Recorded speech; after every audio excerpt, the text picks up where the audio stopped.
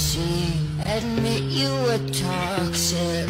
You poisoned me just for Another dollar in your pocket.